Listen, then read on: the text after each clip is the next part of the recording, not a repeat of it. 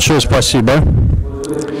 Мы будем проводить наше мероприятие по-английски, поскольку наша основная программа с, на англо-русская или русско-английская, поэтому мы будем э, э, следить за этим во время нашей летней школы, и я надеюсь, что для тех из вас, которые э, не совсем понимают 100% что мы говорим, у нас есть здесь переводчики, которые, будем надеяться, дадут вам возможность послушать перевод нормальный. И сегодня мы начинаем, а, собственно, саму школу. Вчера была больше, так сказать, официальная часть, которая тоже, конечно, необходима на высоком уровне, то, что правительство, наши партнеры, университеты, ректор, чтобы они знали, что мы занимаемся здесь. Но сегодня, как э, э, первая лекция, и, это, и в интерактивные дискуссии, я надеюсь, и, а, мы прыгаем в глубокую воду, как мы говорим, потому что мы начинаем с вопросов, которые новые э, в офисе Верховного комиссара по правам человека. И это подходы, концепции, которые мы называем всеобъемлющий подход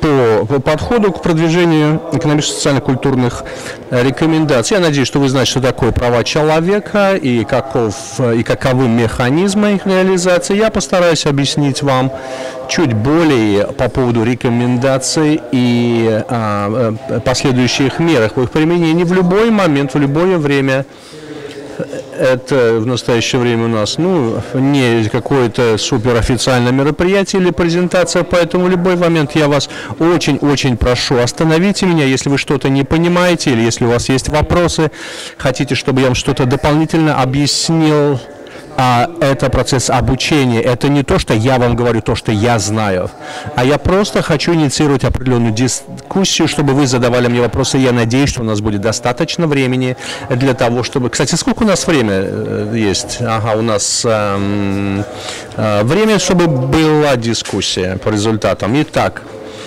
э, давайте приступим. А, итак, э, почему очень важно организовывать вот эти вот а, обзоры и что такое вот этот follow-up, который мы называем, то, что мы называем в этой системе а, Объединенных Наций follow-up. Вот это процесс, процесс последования, последовательный процесс, который э, следует за выполнением разных рекомендаций, которые исходят из механизма соблюдения прав человека. Я вам э, расскажу об этом, какие механизмы у нас есть для этого.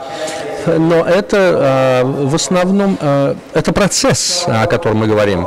И такого рода деятельность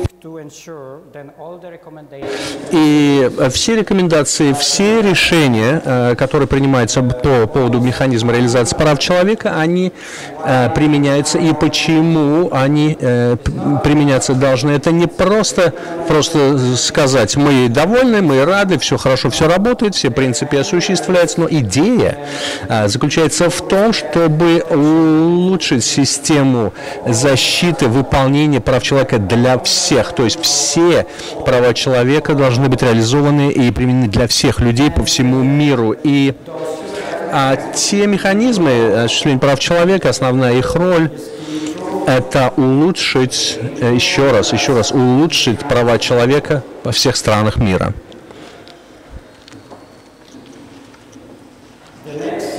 А, следующее, а, мы пытаемся понять, почему мы должны делать вот эти процессы отслеживания выполнения резолюции. Резолюции, которые э, одобрены механизмом по правам человека и соответствующими рекомендациями, они нацелены на то, чтобы заполнить вот эти вот какие-то пробелы по защите прав человека и помочь государствам, показать другим государствам заинтересованным сторонам, каким образом продвигаться по пути более полного реализации прав человека.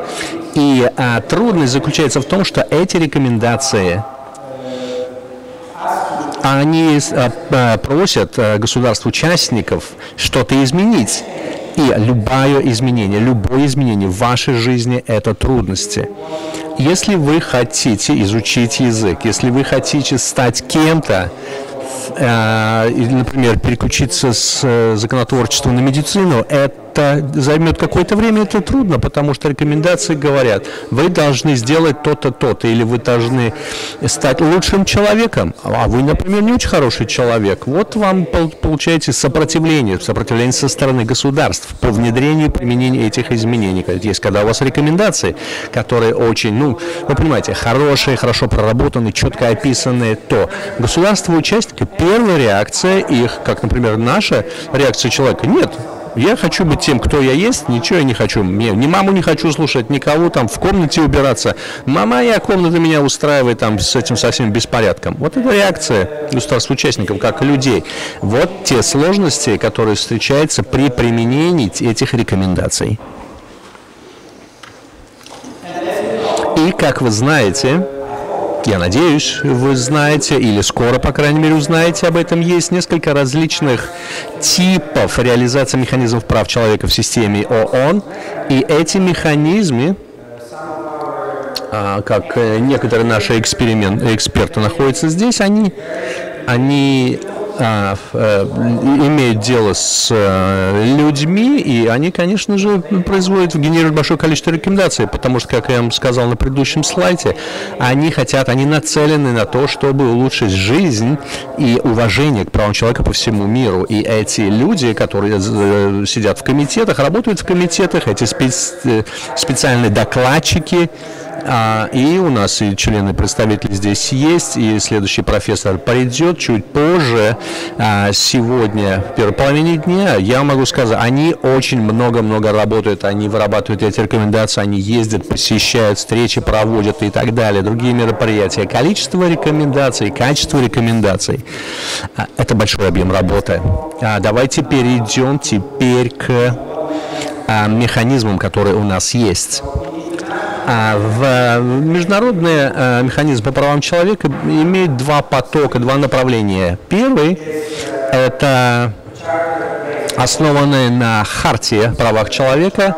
Это, э, я имею в виду хартия э, Организации Объединенных Наций или устав Организации Объединенных Наций. И второе, у нас есть Совет по правам человека – у нас есть специальные процедуры и а, а, специальные а, обзоры регулярно проводимые. И, и специальные процедуры, так, еще раз, вот они здесь перечислены на слайде у нас, они а, а, выпускают различные рекомендации, различные мнения высказывают.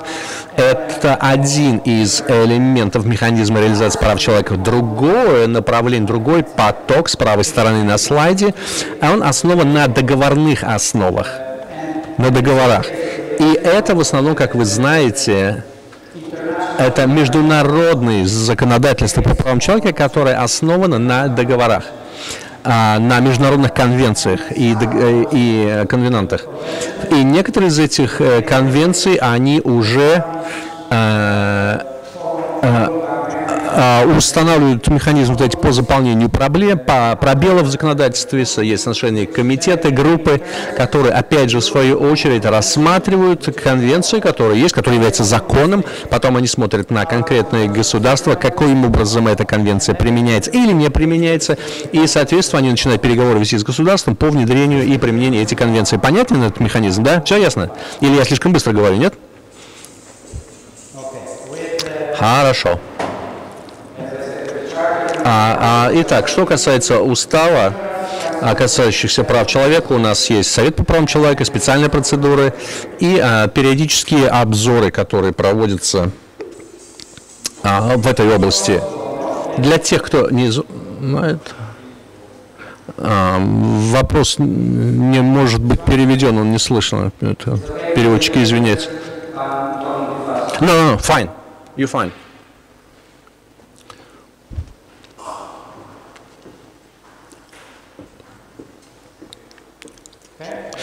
Um, давайте еще разок повторим, а, что представляет из себя Совет по человека. Это основная межправительственная организация Организации Мирных Наций, которая отвечает за права человека. Она состоит из 47 э, государств-участников, которые встречаются, ну, по крайней мере, на три сессии в, в год в Женеве, в Швейцарии. И их основная роль э, включает в себя э, укрепление, продвижение и защиту прав человека по всему миру, во всех странах, и составление рекомендаций, которые бы предотвращали нарушение прав человека, включая а грубые и систематические нарушения в нашем офисе, на который я работаю, это э, порядка тысячи человек у нас работают по всему миру. Мы э, работаем как секретариат для Совета по правам человека. Следующие э, э, э, э подразделения, основанные на уставе, ООН – это специальная процедура. Специальная процедура – это группа независимых экспертов, мы называем их special rapporteurs или специальные докладчики, которые назначаются Советом по правам человека, и они не являются сотрудниками Организации Объединенных Наций, то есть а, а а основное слово, ключевое слово, потому что я говорю, это независимые. Они не обслуживают интересы государства, они не обслуживают интересы никого, включая Организацию Объединенных Наций. Я могу вам сказать, что некоторые из, э, э, ну, вам секретик небольшой расскажу, некоторые из наших специальных докладчиков, они слишком независимые. Они не хотят даже с нами не говорят. Они говорят, даже мы с вами не будем, куда мы едем, что мы делаем, чем мы занимаемся. И иногда это создает определенные проблемы, но почему? Почему независимы? Почему слово независимость так важна для нас? Потому что они должны давать нам очень объективную картину и, соответственно, рекомендации государственным участникам, что происходит в странах э, по определенным категориям прав. Ну, например, а, вот э, Фарида, когда мы тут работали с вами, в 2012 году специальные докладчики по правам э, культурных прав человека были здесь, в Казани. И и основном, э, вот, собственно, как они работают, они приезжают сюда, они встречаются с правительством, с представителем гражданского общества, со специалистами, с представителями научной среды, академической среды, и они говорят о том, что а, послушайте, каким образом вы соблюдаете тут такие-такие права, и, а, ну, например, вот смотрите, здесь на картинке у нас есть специальные докладчики, специальные специалисты по вопросам водоснабжения и а, соблюдения санитарных норм, и, ну и, конечно, другие. А их э, достаточно много, этих специальных процедур. У нас есть 41 а, тематическая процедура, так называемая, 10 а, касающихся гражданских и политических прав, а, вопросы, занимающиеся расизмом, защитники прав человека, мирные инициативы, свобода, э, комитет по пыткам там и так далее. И потом, как вы видите, у нас, а, собственно говоря, то, о чем еще не будем говорить, у нас 13 а, позиций по экономическим, а, социальным и культурным правам, такие вопросы, как снабжение едой, образование, сброс ядовитых отходов, окружающая среда, нищета, зарубежные долги, продвижение демократических и международного порядка, международной солидарности, э, водоснабжения, санитарных условий и культурных прав. А у нас есть также 12 фокусных групп или специфические группы, такие как группа мигранты, а, люди незаконно перемещенные внутренне, внутри страны, насилие в отношении женщин, детей, а, меньшинств, а, коренных народов, рабовладельчество, незаконное пересечение границы и а, права пожилых людей. И список этот растет. И в этой презентации мы поделимся с вами. Вы э, можете получить эту презентацию, если вы хотите они э, сфокусированы на специфических группах, на их интересах, и этот список растет, потому что э, по мере того, как э, расширяется организация, занимаясь правами человека, соответствующие группы, на которые сфокусируется наше внимание, и их количество групп тоже расширяется. А, есть шесть рабочих групп, это не один человек, это группа, это группа экспертов, которые сфокусированы на специфических вопросах. А, например, люди, которые происходят из Африки, дискриминация э, женщин, э, транснациональные корпорации. И э, плюс к этим тематическим специальным процедурам а, Совет правам человека также, э, вы знаете, в некоторых отдельных вопросах они делегируют э, с независимых экспертов а, в определенные территории, определенные страны. Обычно это те страны или территории,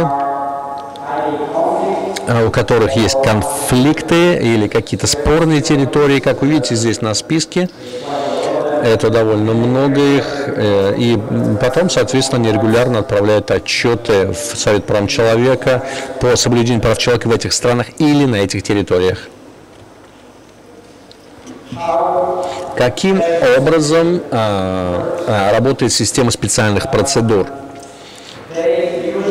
Обычно а, две-три страны посещаются различных стран, два-три визита Э, и затем они либо принимают какое-то постоянное приглашение, либо просят государство, чтобы оно пригласило их. И есть некоторые проблемы здесь, потому что в некоторых из этих государств, которые, ну, скажем, э, э, работают специальные представители, они хотели их посетить. В некоторых этих странах они говорят, послушайте, мы не готовы для вашего приезда. И поэтому основное, основной подход – это работать с государственными чайниками по вопросам как постоянно действующее открытое предложение. То есть страна говорит, мы приглашаем всех любых специалистов, тематические процедуры специалистов, чтобы вы к нам приехали, открытое приглашение и э, никакого предварительного отбора нет – но это очень немногое количество стран, которые это делают. Большинство стран хочет контролировать процесс того, кто приезжает, кто не приезжает, и выбирать людей. То есть они могут сказать, у нас, например, есть просьба специальных, э, например, представителей по защите прав человека, а страна говорит, нет, нет, нет, нет, в нашей стране все отлично, все хорошо, у нас права человека реализованы все, нам никаких тут наблюдателей не надо. Вот так бывает. И это может быть проблемой. Э, для реализации такого механизма. И, ну, например, в 2013 году э, специальные процедуры. Э, вот эта группа провела 79 визитов в 66 стран. И обычно это не просто один визит, и потом, после которого пишите потом отчеты рекомендации, а это обычно а, так называемые последующие визиты. То есть у вас есть первый визит, например, группы специальных докладчиков в какую-то страну, они делают определенные рекомендации, а потом они приедут, например, через пару лет, ну, зависит, один год, два, четыре года, один год, в ту же самую страну, в то же самое место и говорят, так, и что же произошло с этими рекомендациями с момента предыдущего визита? Это вот важность вот этого а, процесса реализации. Э, то есть, если те изменения не происходят, которые э, мы рекомендовали, не происходят, то мы хотим все равно улучшить ситуацию с правами человека. И э, каким образом эти специальные процедуры отслеживают эти данные рекомендации? Они распространяют и Э, соответственно, переводят э, отчеты по посещению страны э, по специальным сетям национальным. То есть что они делают? Они приехали в страну, они перевели отчет и распространили его среди людей, заинтересованных сторон в результатах этого визита. Потом они оценивают статус внедрения и реализации этих рекомендаций. Э, потом мнения, рекомендации, предложения и отчеты, они делятся этими документами с правительством, парламентом или местными парламентами, региональными правительствами еще раз для того, чтобы помочь правительству улучшить э, э, специфические категории прав человека. И в том случае, если если страна или э, партнеры, работающие с группой, хотят, есть специальная процедура, и она а, работает в области формулирования, формулирования национального плана реализации прав человека или другими планами. Ну, например, в России нет национального нет национального э, плана по реализации плана человека, потому что правительство, ну как бы вам это сказать, готово не выражать желание иметь большой план для всей страны. Но, например, в Татарстане правительство Татарстана, как вы, наверное, вчера слышали, по инициативе э, омбудсмена по правам человека, они под подготавливают и одобряют национальный татарст... план Татарстан план человека со специфической целью, специфическими вопросами, такими как образование, здравоохранение, водоснабжение, жилье, э, занятость, защита прав ребенка и другие вопросы. То есть план, как любое, то, что происходит в жизни, либо вы делаете это спонтанно, и мы надеемся, что мы можем дать, ну, например, вы хотите а вы, например, хотите окончить мастерскую программу, с утра встали решили, ага, все, буду мастерскую степень защищать, пойду в университет и надеюсь, что я эту степень получу. Или вы составляете план, каким образом это сделать. Ставите даты, ставите точки отсчета, в этом году сделаю то, в этом году это, английский язык выучу, потом сделаю то, сделаю другое. Вы двигаетесь вперед с планом, который существует на правительстве, конечно же, легче работать, чем э, просто потому что есть определенная структура действий. А, итак, это были специальные процедуры. Есть какие-то вопросы по специальным процедурам? Может быть, что-то объяснить вам нужно в, в деталях, дать какие-то больше примеры их деятельности, того, что они делают, что они не делают. А может быть, я больше по тематическим вопросам пройдусь. как сказать, это зависит от Э, тематического мандата, и страны в основном принимают э, ну, более такие э, простые визиты по, например, вопросам культуры, по правам культуры, чем, чем те страны, где, например, люди исчезают без следа, и вот там уже защитники прав человека, эти страны а, не приглашают таких специалистов по вот этим вот э, горящим вопросам. А говоря о странах тематических по специальным мандатам, э, страны э, очень часто игнорируют просто Совет по правам человека, есть определенный, то есть э, предписана определенная специальная процедура для, для, для ее реализации на территории данной страны, а таких специалистов просто не допускают в страну, соответственно, отчет приходится готовить из-за пределов страны. Почему? Потому что та страна, которая оказала, попала под соответствующим э, мандат, э, заявляет то, что им это не нравится, и они не будут сотрудничать в рамках этой специальной процедуры. А теперь позвольте остановиться на других э, организациях правам человека, основанным на уставных аспектах. Как вы уже помните, их уже три, их три. Помните, какие три? Ну, были на одном из слайдов в самом начале я показал, может быть, слайды вернуться. Я вижу, что некоторые даже не помнят, но хорошо. Второе – это всеобъемлющий периодический обзор, Universal Periodic Review. Ну, по большому счету, это механизм, созданный Советом по правам человека, э, э, под э, периодический обзор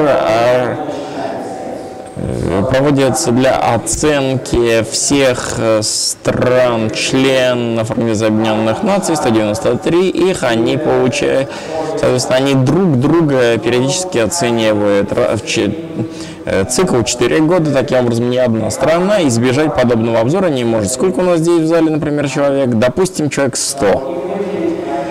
Если взять так каждого из вас, например, и рассматривать как государство-члена, тогда каждые четыре года э, э, мы будем выбирать какую-то группу из вас, как э, определенный совет – и вы будете готовить э, своего рода отчет мнения о самих себе. Например, я вот по математике у меня все замечательно, с английским мне плохо, все замечательно, учусь хорошо, а потом вы этот документ э, публикуете, предоставляете, делитесь этим документом с коллегами, то есть не профессорам, а своим коллегам представляете соответствующий отчет о себе. потом мы как, э, скажем, Организация Объединенных Наций или как учи, э, студенческий совет, дальше сами э, готовим наше мнение о том, а кто вы такой на самом деле, чем занимаетесь.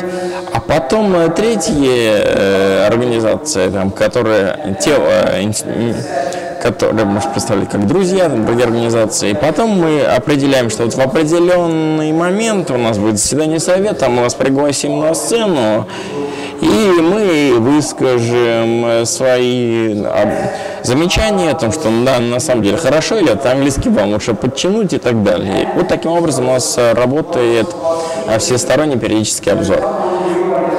Другими словами, не только вы оказываетесь на, сцене, на сцене, то есть сегодня вы, завтра ваш коллега. И в течение, за период 4 года мы всех, э, все государства-члены должны оказаться, должны пройти соответствующий обзор, анализ со стороны, оценку со стороны других стран, о том, как вы себе, как у вас э, ситуация улучшается. Вне зависимости от размера страны у всех равные права, э, право голоса и соответственно, право того, чтобы другие страны оценивали развитие ситуации э, у вас. Ну, как я уже сказал, я-то по большому счету так и объяснил, а теперь как оно реализуется. Основывается на трех документах. Это национальный отчет, который готовится страной, которая проходит подобный обзор, по большому счету. Министерство указанной страны собирает информацию по всем вопросам, связанным с, правом, с правами человека, например, права человека в вопросах образования, ну, какая у замечательная система образования, у нас все бесплатно, у нас самые лучшие компьютеры, бесплатный Wi-Fi, и по большому счету, ну, великолепная история, да? Рассказываем. Далее, право на здравоохранение, опять-таки, мы расскажу, у нас медицина хорошая, врачи доступны. Э, э, позвоните в скорую, за три минуты приедут, в, больницу доставят. Если вдруг аварии на дороге, вертолетом вас быстро туда доставят до хорошей больницы. Вот обычно, как это более-менее так это представлено в государственных отчетах. Они пишут, большинство правительств пишут о позитивных вещах в своей стране, потому что, ну, не хочется особенно писать о том, что какие-то процедуры не очень хорошо работают. Далее, Организация Объединенных Наций, скажем так, мы, мы готовим компиляцию информации из разных опубликованных источников о тех или других государствах, право на образование, на здравоохранение и прочие права, собираем это все вместе. И этот документ должен быть не очень объемен. То есть есть определенный лимит о том, как много информации вы можете в этот подобный отчет включить информации. Тысячи страниц быть не может. То есть должно быть все четко, кратко, конкретно относительно того, что происходит. Ну а третий документ – это э, резюме информации, которая предоставляется другим заинтересованными сторонами, такие, включая как государственное общество, те или другие организации, э, ассоциации, Например, вы знаете, что проходит, э, вот сейчас проходит, Россия проходит процесс э, всесторонней оценки, то вы как организация можете захотеть направить в Женеву в соответствии э, в управлении Верховного комиссара там, информацию, которую вы хотели бы предложить для рассмотрения в этом обзоре. Ну а далее э, само рассмотрение. Рассмотрение проходит в Женеве в рамках рабочей сессии, собирается рабочая группа. Рабочая группа состоит из представителей 47 государств-членов. Э, длится эта сессия 3,5 часа. Это интерактивный диалог между представителем государства, которое проходит всесторонний обзор, а, и представителем государств-членов и организаций наблюдателей, и наблюдателей. И спустя, соответственно, этого, после этого интерактивного диалога рабочая группа э, принимает отчет по этой процедуре. Довольно-таки, возможно, интересно будет понять, как это работает. Доклад государства, член больше о состоянии прав человека в соответствующей стране, после чего другие государства, которые являются, которые проводят этот обзор, принимают участие в проведении обзора, дают определенные рекомендации. Ну и как уже упомянул в самом начале, почему мы говорим о всеобъемлющем подходе к последующим действиям. Почему наших рекомендаций достаточно много? Приведу пример, что сейчас происходит. Государство очень заинтересовано в том, чтобы инициировать, а, дать соответствующие рекомендации. Но время, помните, процедура 3,5 часа. Все хотят выступить, и все хотят дать определенные рекомендации. Будь то Россия или Израиль, будь то Соединенные Штаты Америки. Поступайте так, отмените смертную казнь, улучшить, улучшить ситуацию с правами женщин в вашей стране и так далее. Но как это работает? Работает. По большому счету секретариат э, э, получает соответствующий сигнал о том, что я хочу до я хочу выступить, и за две минуты там 100 человек может дать какие-то рекомендации, как вы делаете очень демократично. Вам дают каждому 30 секунд. Некоторые дипломаты в самом начале, я не знаю, вы в принципе там можете и в интернете это в онлайн процедуры делать, может быть вам будет интересно посмотреть, можете э, по ссылке. Некоторые начинают процесс, могут быть выступать очень дипломатично, как, например, вчера было, здравствуйте, я хочу поблагодарить вас, господин президент, председатель, это уже 20 секунд ваша дипломатия. Соответственно, времени на рекомендации уже не осталось. А потом очень быстро говорят, вам следует сделать это, это, это и это все, 40 секунд истекло, дальше ваш микрофон выключили. Соответственно, все, что будет сказано позднее, уже не попадает в соответствующий протокол. Соответственно, государствам необходимо очень стратегии, рассматривать свою стратегию о том, как рекоменда... делать эти рекомендации другим государствам, основ... подумать о основных рекомендациях, а также взаимодействовать с другими э, странами, которые разделяют ваше мнение, чтобы не повторяться, например. Э, например, мы хотим, чтобы вы вместо того, чтобы 10 раз разные государства говорили, необходимо улучшать ситуацию с правами детей, может быть, имеет смысл разделиться, чтобы один подчеркнул особенно эту сферу и так далее. Ну, об этом это я затронул. После указанного диалога, рабочая, интерактивного диалога, рабочая группа э, принимает официальные отчеты, официальные рекомендации. Далее Совет по правам человека после того, как будет принят соответствую э, результат всестороннего обзора приняты. Э, это своего рода общие дискуссии.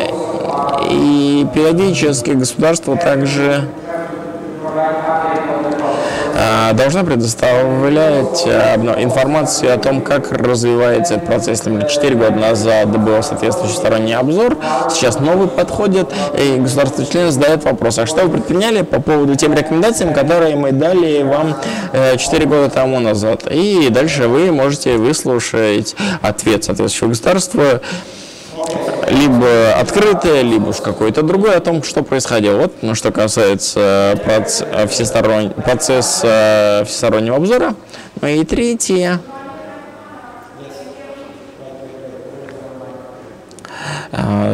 Просьба выступающим говорить в микрофон, если это важно для перевода.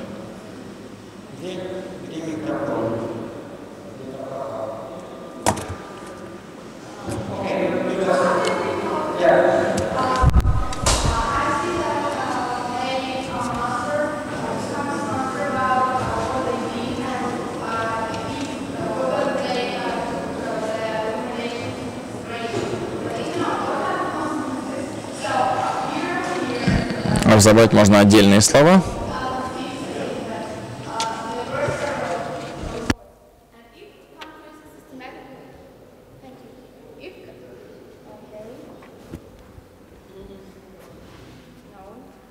Дайте.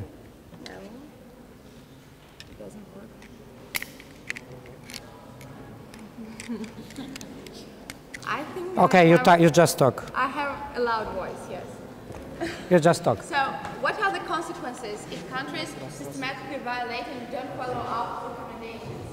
Maybe there are mechanisms or what are the Yeah. maybe mm. actions, the responsibility, the actions?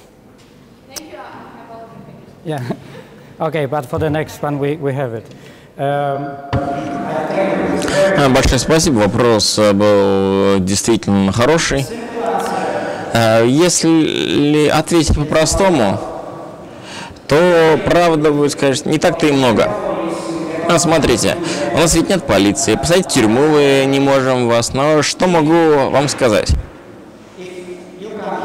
Если вы приходите сюда, вы ходите перед всей аудиторией, и я скажу вам, вы, господа, очень ленивые, отметки у вас плохие. Например, по коммерческому праву. Я так думаю, то, что вы не хотели, э, чтобы тут э, вы это услышали, заслушали, а вас сказали при всех. Я говорю вам об индиви... отдельном лице, а представители государства тоже, предпо... любые государства предпочитают избегать соответствующего, скажем, вопроса, в который так иначе можно рассматривать как э, сорно, момент позора, можно сказать. Вот четыре года назад мы давали вам рекомендации, что вы по этому поводу предприняли, что вы можете сказать? Да, извините. То есть вопрос о давлении, о давлении со стороны государств-членов достаточно это сильное влияние имеет. Вы же не просто отдельный человек, вы представляете государство, представляете власть, соответственно, пусть медленно, я не говорю, что это быстро, это не быстрый процесс, это в некоторых государствах изменения происходят быстрее, либо легче принимать те или другие рекомендации, это также момент, который забыл упомянуть. Но в ча но некоторые из рекомендаций те или другие государства члены не принимают. То есть да, они там присутствуют, но но они не принимают эти рекомендации. Э, соответственно, это не абсолютно некие механизмы, это общественное мнение, но если вновь и вновь и вновь оказываетесь э, под лучом прожектора стороной других государств-членов,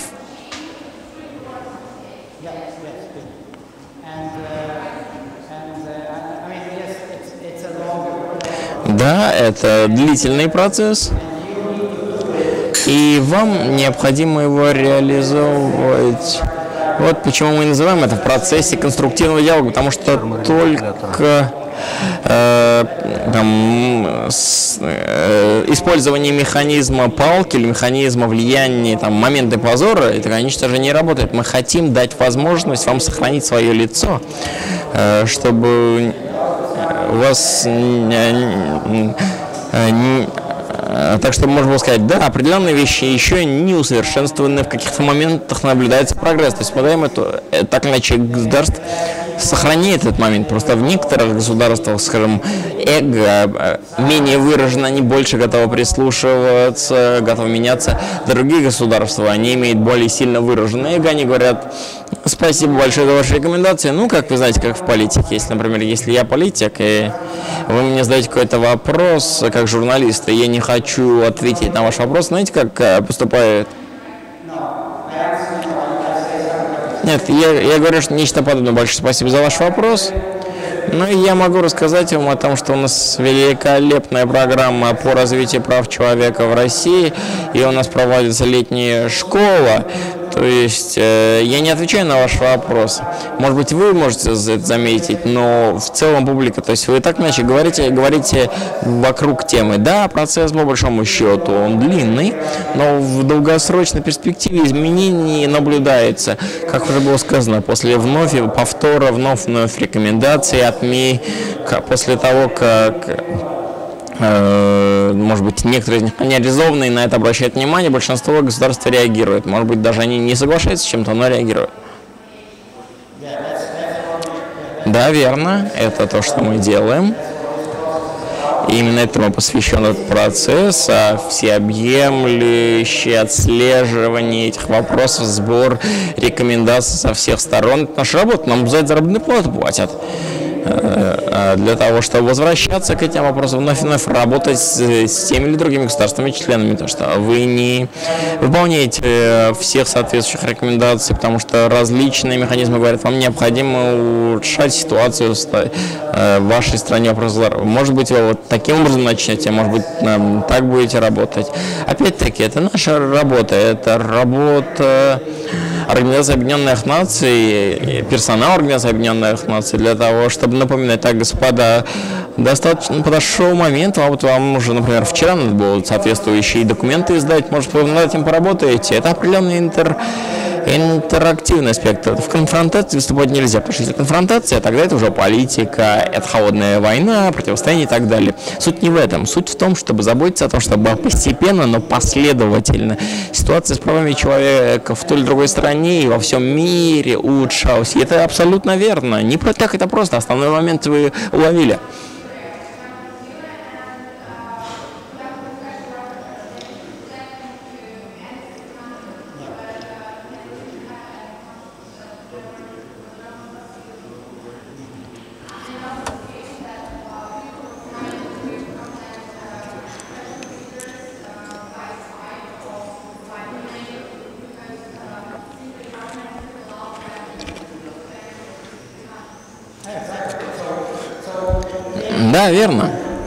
Соответственно, необходимо думать долгосрочными перспективами. А Вы, может быть, даже не заметите это изменение, как я уже вам сказал. Мы не как Макдональдс, мы не ресторан быстрого питания, мы мед... рестораны медленного питания. Это как во Франции. Приходите, обед это три часа, и вино, и десерт, и салат, потом еще чего-то.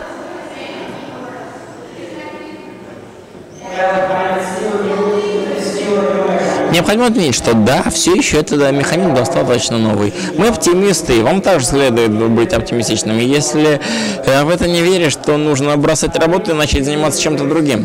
Мы же, скажем так, э, э, кладем маленькие кирпичи, камни большой стены, постепенно. И, возможно, к тому моменту, когда вы достигнете моего возраста, какие-то значимые изменения, к этому моменту, возможно, можно будет отметить. Я, возможно, нет. В некоторых странах процесс движется лучше. Могу пример привести от Шри-Ланки. Ужасная война была. В 2009 году. Далее, ну и, как я уже сказал, у Организации Объединенных Наций нет полиции, не может просто прийти и остановить ситуацию в стране. Но вся работа э, систематично велась, отчеты, э, комиссии. Сейчас в Шри-Ланке новое правительство, они определенные вещи приняли, и мы надеемся, что со временем э, каким-то образом помочь можно будет. Понятно, для тех, кто уже погибли, тут невозможно. Но вот да, другая страна может привести, Камбоджа, там 30 лет за него с момента преступлений красных меров до того момента, как все эти преступления начали рассматриваться в суде. Но это произошло.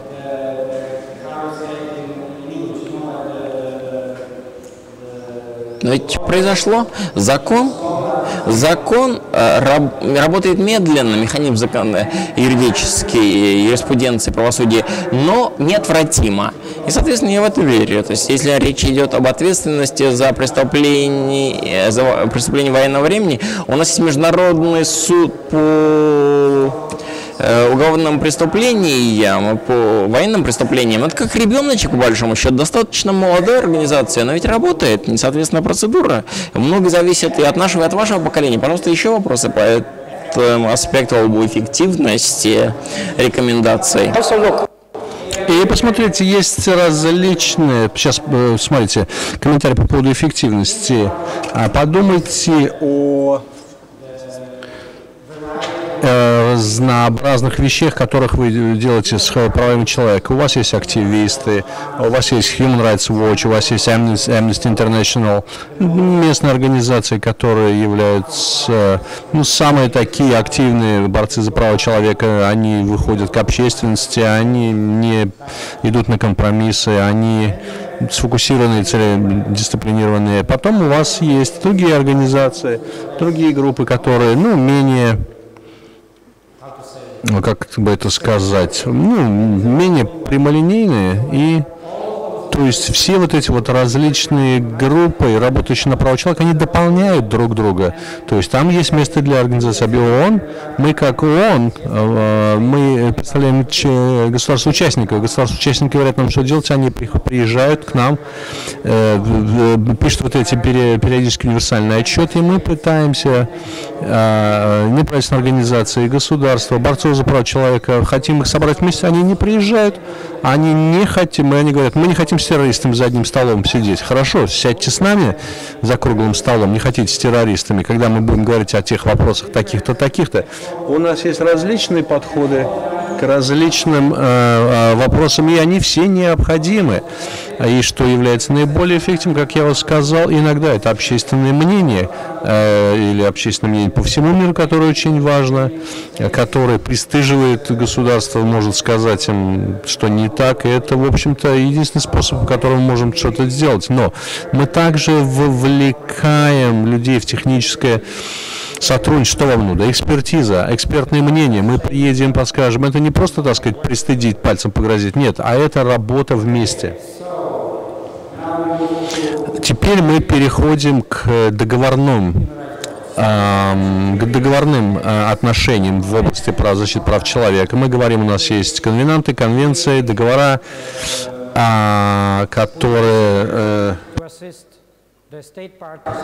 а, которые выполняет определенные рекомендации, а, работает с осуществлением пактов. Если...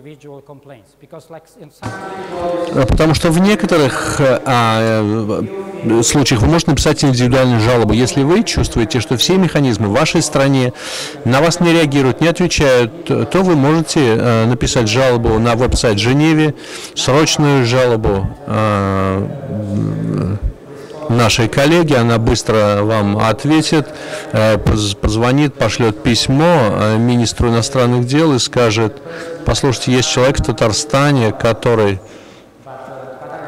Ну, я просто вам пример такой привожу, что есть индивидуальные жалобы, которые э, рассматриваются. И что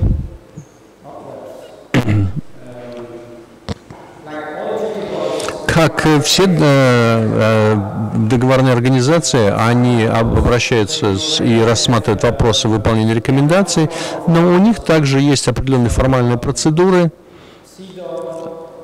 а, э, комитет по уничтожению, искоренению расовой дискриминации, комитет по предотвращению пыток, по борьбе с исчезновением людей.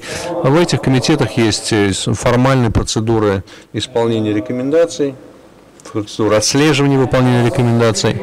И эти организации, которые я здесь э, упоминаю, они э, просят э, представлять отчеты государствам по тем мерам, которые приняли в ответ на специфические рекомендации по вопросам, касающимся, ну, а там приоритеты есть, и те, которые должны быть быстро э, внедрены. В некоторых из этих рекомендаций это не просто разговоры, э, касающиеся договорных отношений, и они просят, пожалуйста, скажите нам, что вы сделали в течение последнего года по конкретным э, вопросам, э, как вы отреагировали на те специфические вопросы, которые мы вам задали. И опять-таки это, опять же, это формальная система, это Организация Объединенных Наций, вы не можете написать все, что вы хотите, как государство. Вы э, должны серьезно к этому подходить. И потом эти комитеты могут назначить координаторов или докладчиков по вопросам выполнения рекомендаций, по конкретным вопросам. И этот человек будет нести ответственность за а, оценку а, вот этих отчетов, этих мер. Эм, а не какие-то круглые такие закругленные бесконфликтные формулировки, а четкие, ясные отчет. И теперь мы возвращаемся к нашим первоначальной дискуссии. Сколько у меня времени есть?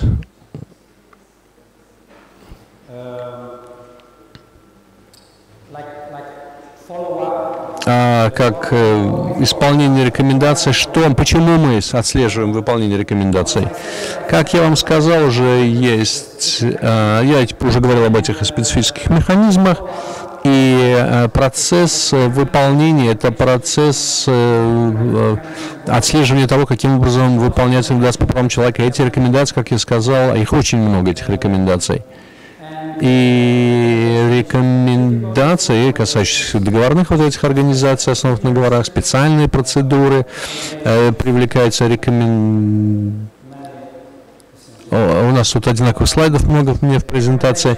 Это рекомендации, которые исходят из э, универсального периодического обзора, решение, э, решение резолюции э, Генеральной Ассамблеи Комитета по правам человека, а также э, вспомогательных комитетов э, Совет по правам человека, ну, например, экспертный механизм или э, вопрос по правам коренных народов, по вопросам меньшинств, социальной формы или, биз, э, или форум по вопросам бизнеса и прав человека. Вот эти механизмы, плюс к тому, что я говорил, о котором называют э, дополнительные э, подразделения Совета по правам человека.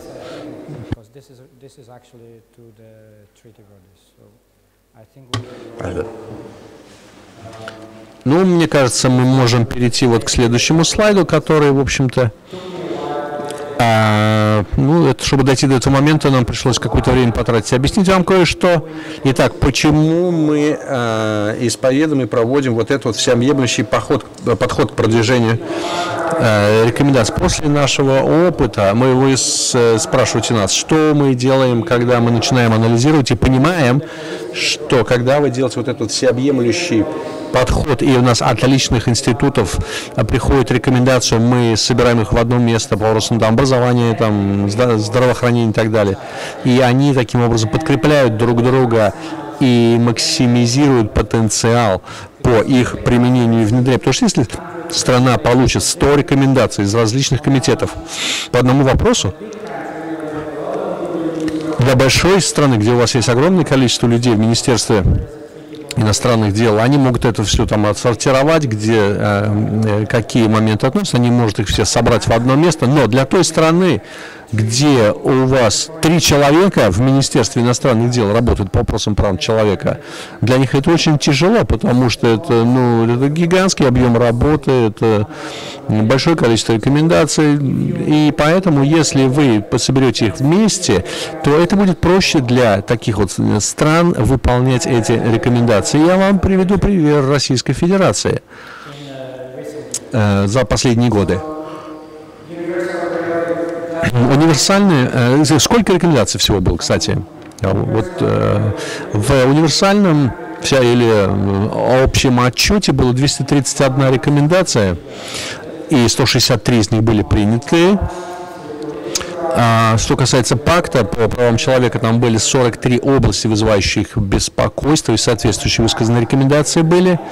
А по вопросам КАТ было 39 рекомендаций, а, соответственно, отчет. Вот посмотрите, э, аббревиатуры э, комитетов соответствующих вопросов, там 31, 60 рекомендаций а, по вопросам э, экономических и социальных прав 55 и всего приблизительно. Почему? Потому что вы даже для нас, мы не можем даже точно сказать, какое количество рекомендаций, потому что там есть грань между рекомендациями, декларациями, наблюдениями, Э, то есть э, мы пришли к, к цифре от 527, 530 рекомендаций. Ну, представьте себе, что некоторые из этих рекомендаций, они очень простые и, э, ну, как бы это сказать, ну, прямолинейные, простые с точки зрения практической, но некоторые рекомендации могут достаточно сложны. Вы читаете их, может быть, даже не понимаете, о чем речь вообще идет.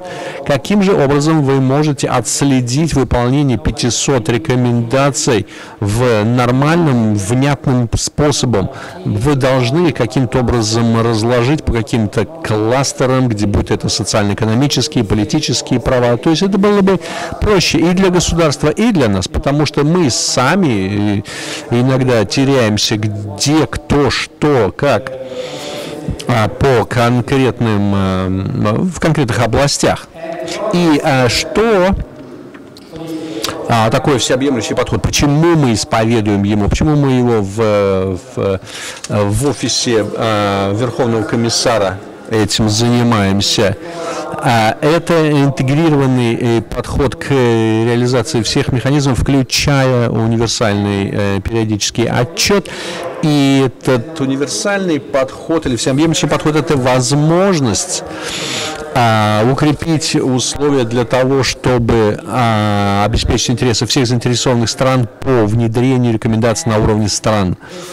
И это всеобъемлющий подход – это а, он ставит нас в середину а, вот того места, той площадки, которую мы знаем, контролируем, смотрим, как э, внедряется рекомендация. Было упомянуто а, в а, резолюции по правам человека. И что мы имеем в виду вот под этим вот э, роль по очистке дома или по уборке дома, то есть устранение каких недостатков, видимо, мы а, стимулируем обмен лучшими практиками, лучшими опытами среди государств, а, смотрим на то, как, насколько успешно они применяют эти рекомендации. Ну, скажем, если Бразилия является хорошим примером по внедрению и исполнению рекомендаций в вопросах образования, то мы организуем встречу скажем, с э, Южной Африкой или с каким-то другим странами, у которых есть проблемы в этой области, связанные с правами людей в образовании. И мы говорим, Бразилия вам расскажет, можно сделать то-то, то-то, и каким образом, лучшим образом выполнить эти рекомендации. Вот э, затем мы э, способствуем также и э, помогаем техническому сотрудничеству или запросам э, на техническое сотрудничество между государствами. То есть одно государство хотело бы, например, получить техническую э, поддержку или сотрудничество, то, каким образом работать над рекомендациями, связанными с вопросами прав человека в области образования. И мы обеспечим комплекс мер для того, чтобы это реализовать. И э, есть а, универсальный периодический отчет, специальный фонд, который также, траст фонд, который также помогает тем государствам, которые не хватает либо а, средств, либо знаний, чтобы внедрить эти рекомендации. То есть мы можем а, предоставить, обеспечить а, деньги для того, чтобы реализовать выполнение наших рекомендаций. И также мы э, хотели бы Э, выполнять роль своего рода такого соединителя, э, связующего звена в, э, в области ну, выполнения этих рекомендаций. То есть мы в Женеве можем работать как координатор между различными заинтересованными сторонами в выполнении реализации прав человека. Что еще мы делаем с всеобъемлющим подходом, как в качестве нашей стратегии? Мы также распространяем информацию. То есть мы а, увеличиваем, э, усилим наше стремление по внедрению всех механизмов человека, включая тех, которые э, касаются э, реализации прав человека. Каким образом это делается, касающееся на государственном уровне? Это это тут ничего секретного нет в отношении того, каким образом мы это делаем в, в ООН. Если вы государство-участник, вы не можете сказать Организация Наций, мы не будем сделать вот это. Мы не будем распространять эту информацию, которая является публичной, которую вы уже приняли как государство. Вот это наша роль. Мы обеспечим вот эту вот путь, эту дорогу для, по обмену информацией э, в э, странах-участниках, какие рекомендации э, были даны и э, что мы рекомендовали другим государствам. И затем мы выстраиваем партнерство с другими, например, офис, Верховного комиссара работает с различными э, подразделениями э, Организации Объединенных Наций. Мы, у нас есть мирные миссии, мы наносим визиты региональной организации, работаем с э, организациями гражданского общества для того, чтобы поделиться этой информацией, чтобы она распространялась и приумножалась. А, а, опять-таки, если то, каким образом мы работаем над этим, как я уже сказал, мы обеспечиваем информацию по результатам работы, мы публикуем, мы организуем встречи, мы встречаемся с людьми, мы встречаемся с неправительственными организациями для того, чтобы снабдить их информацией. А э, наша роль о том, что мы также продолжаем диалог с правительствами, и по этим вопросам, ну скажем так, если есть специфическая рекомендация и есть запрос а на выполнение рекомендаций. Мы встречаемся на территории страны, которая это делает, спросят, мы объясняем, спрашиваем, нужна ли вам поддержка, что мы можем сделать вместе по этому поводу.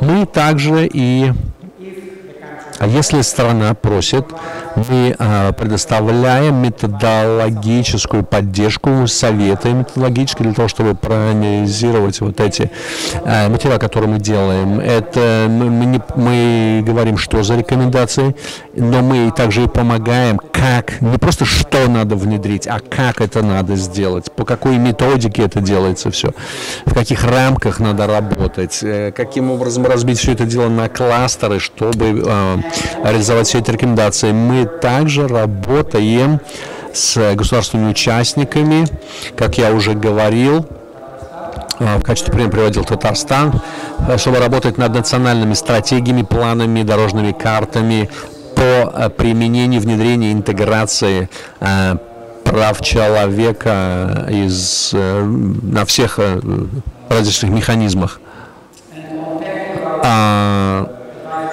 А, что касается технической поддержки и оказания совета и наших возможностей для этого, а, но для специфических проектов, через специфические проекты, через семинары, э, рабочие группы. У нас есть несколько семинаров э, с региональными омбудсменами мы проводим в различных регионах по как раз рекомендациям то, как это делать, насколько это важно. И мы также создаем инструменты и системы, как вы вот только что спросили, каким образом а, отслеживать, каким образом отчеты э, составлять. И мы также способствуем проведению консультаций и вовлечению всех заинтересованных сторон, таких как э, непосредственно организации правительства, а академические институты, ну, образовательные имеется в виду. И мы, а, как я уже упоминал, мы также делимся нашими практиками, нашим опытом по продвижению международного сотрудничества. Ну, между различными организациями мы э, делимся а, вот этими лучшими опытами, лучшими практиками. Итак, мы подошли к, почти к концу. И я бы хотел, чтобы вы просто вынесли из этого занятия, почему всеобъемлющий подход настолько важен. Потому что мы нацелимся на то, чтобы улучшить уважение, защиту и исполнение прав, всех прав человека, всех людей по всему миру а, потому что мы хотим улучшить реализацию практически прав человека во всех странах мира. И для того, чтобы увеличить наши усилия по э, обеспечению эффективной поддержки государством а в э, офисе Верховных комиссаров. Мы же работаем не в одном доме, в, в нашем офисе, мы работаем в различных местах. Есть люди, которые работают специальными процедурами, а отдельно от, э, с другими организациями. То есть мы все работаем в разных местах. Люди, мы не если мы не общаемся друг с другом, конечно же, эффект будет не такой сильный и полезный, как если бы работали все вместе, единое целое. Вот, вот, собственно говоря, и все. И если у вас есть э, какие-то вопросы, то э, мне кажется, у нас немного времени осталось для этого. Десять минут, пожалуйста, и в вашем распоряжении.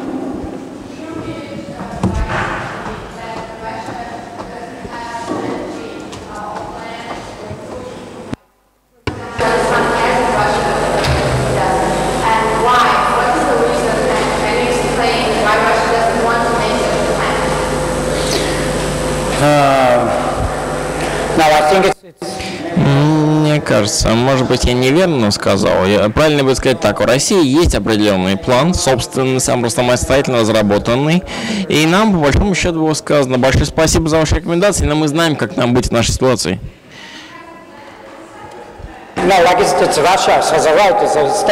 У России есть право поступать так, как они хотят. Соответственно, они говорят, вы знаете, вот мы вам рассказали, мы готовы поделиться с вами определенным своим опытом. Большое спасибо, но мы, в принципе, понимаем, как нам быть, поэтому давайте мы самостоятельно у себя будем решать. Но официально опубликованного национального плана на уровне, например, премьер-министра, утвержденный на период, например, 2015-2020 годы, мы будем реализовывать соответствующие конкретные шаги в такой последовательности, такого документа нет. Почему его нет? Ну, это, скорее всего, вопрос политический. А ответить на то, почему нет, в каждом конкретном случае бывает достаточно сложно. So, um...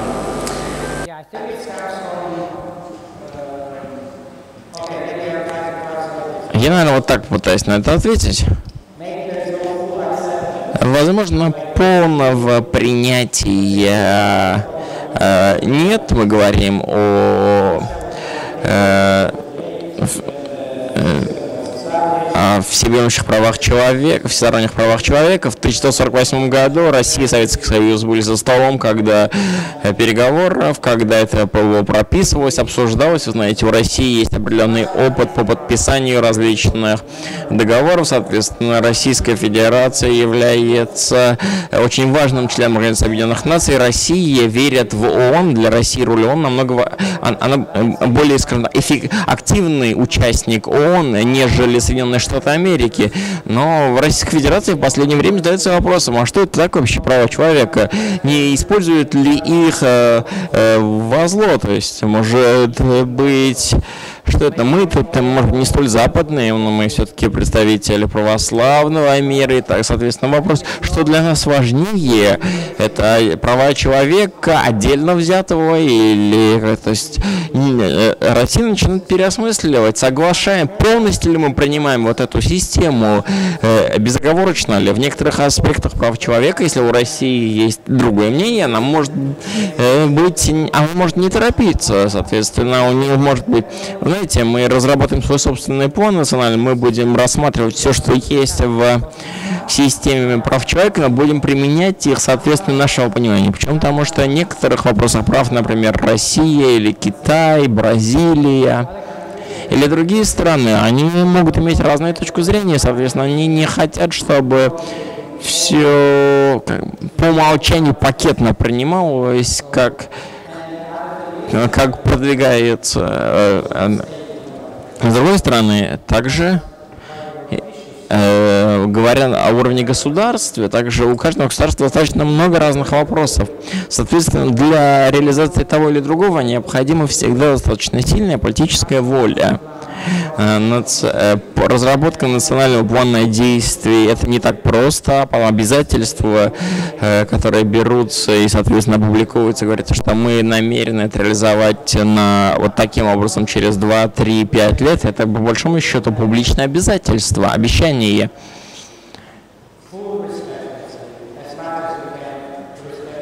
Соответственно, например, можно привести вам пример. Например, допустим, Россия в рамках плана говорит, что к 2017 году у нас будет э, обеспечен высокий всесторонний уровень уважения к людям, страдающим как физическим, так и ментальными э, проблемами инвалидностью э, в России. Давайте пример приведем. Сколько обойдется в России все станции метро сделать равнодоступными для людей с физической инвалидностью? Так, на скидку скажем, миллиард долларов. С одной стороны, сохранить исторические станции метро, с другой стороны, все дополнительные лифты и так далее, коммуникации. Это будет не так просто. Учитывая все вот эти комплексные моменты, необходимо принимать решение, там, что для вас важнее. Это права инвалидов, либо что-то еще, потому что любое заявление требует денег, требует работы.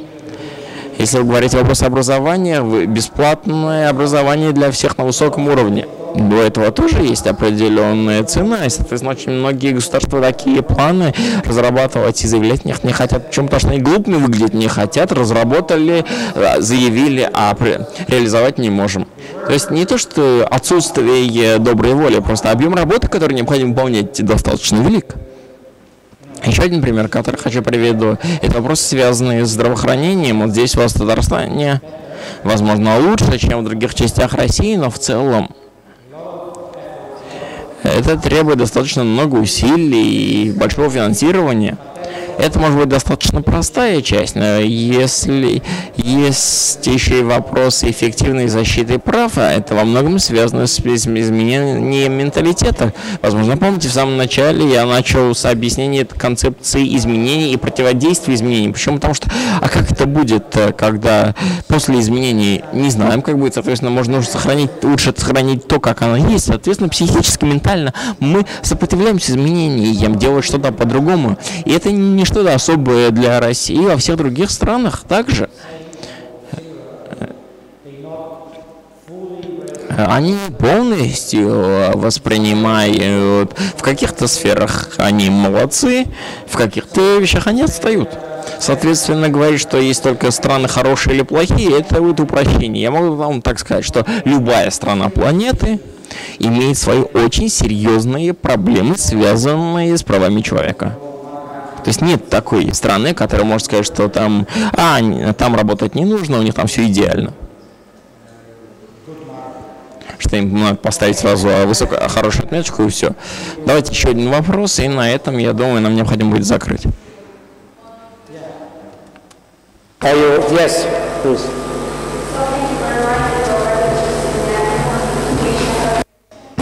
был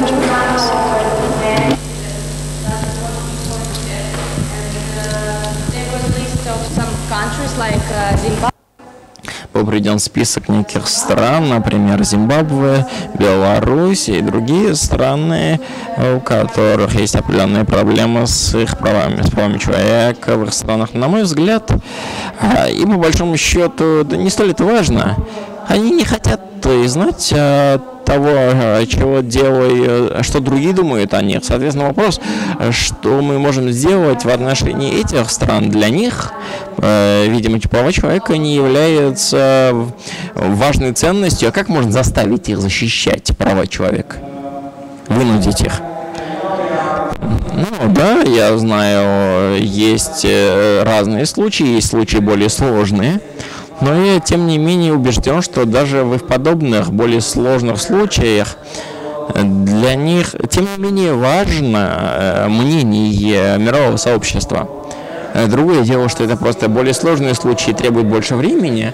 Однако тут не полное отвержение. Если бы они полностью отвергают, а вы продолжаете настаивать, они просто уйдут из системы ООН. Они же так не устроены, скажут, зачем мне быть членом Организации Объединенных Наций? И я могу также сказать, для того, чтобы страна рассматривала, воспринималась как страна, необходимо, чтобы у нее были определенные э, международные договоры. Понятно, это может быть шутка, но тем не менее э, нужно быть членом ООН, нужно, чтобы была национальная футбольная команда, чтобы, например, еще третий элемент. Пиво или равные были, соответственно, Э, любые страны, которые хотят, чтобы их признали, для них ключевым элементом является иметь а, на,